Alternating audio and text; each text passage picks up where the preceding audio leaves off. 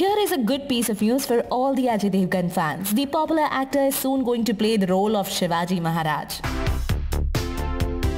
The news was revealed by director Rohit Shetty himself. Rohit Shetty, who is currently working on his upcoming film Simmba, is reported to be interested in making a film with versatile actor Ajay Devgan on the life of Shivaji Maharaj. Talking about the same, the filmmaker revealed his interest in making a film on Shivaji Maharaj. And when asked about which actor would he like to cast in the film, he quickly said Ajay Devgan. But with all of that, Rohit Shetty even revealed that even though he wishes to make a film on Shivaji Maharaj, the budget would be huge and unaware whether it may happen then. It would be great to see the duo together again, especially Ajay Devgan in the role of Shivaji Maharaj.